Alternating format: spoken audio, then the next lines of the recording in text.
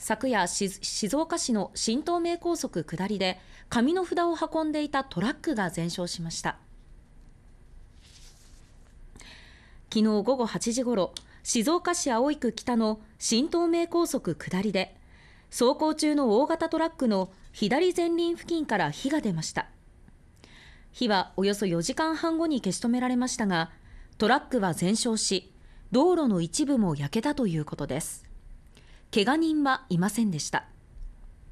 トラックは紙の札を積んでいたということです。